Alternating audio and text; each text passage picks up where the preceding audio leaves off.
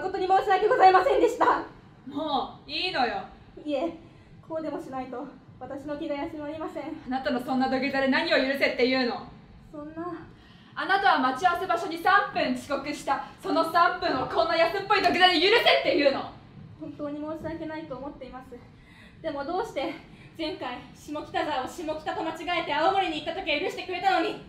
今回はダメなんですか？南新宿駅での3分の遅刻は前代未聞よ。新宿の隣の地味な駅だからといってそんな暴言吐いていいはずがないわ。おだまり。しかも3分。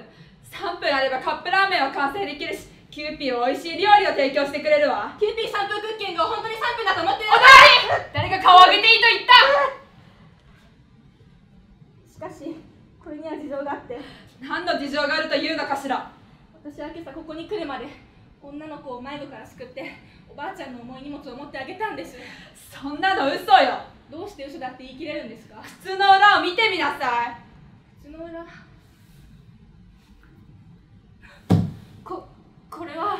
そうよ。それは私が3年かけて開発したうんこ型追跡機。うんこちゃんよ。うんこちゃん？でもどうしてこんなものが私の靴の裏に？あなたは今朝駅でうんこを踏んだでしょ？その時につけたのよそれじゃあまさかあの時のうんこ。はええ私のよ。あなたが電車に乗る頃やを見計らって私が駅で出したの。そんなことをして許されると思っているのか？あなたに言われる筋合いはどこにもないわ。あなたは何かが根本的に間違っている。このうんこちゃんの追跡結果を見ればあなたの嘘は白日のもとにさらされるわ。あなたは今朝今朝本当に迷子の女の子重いおばあちゃんの荷物を持って持ってあげてた。そうよ私は嘘なんてついてなかった。ただ遅れたことは申し訳なかったわ。いいえあなたを信じてあげられなくて。本当にごめんなさい。そういえばちょっと待って。あなたは今朝今朝4時のインスタのストーリーに伊藤英明とのツーショットを載せてるわね。あなたまさか。そのまさか。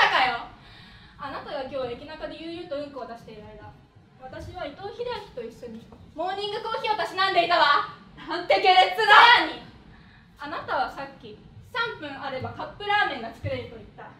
しかし私はその3分その3分であなたの愛する伊藤英明と LDK ロングディープキスをしたわ。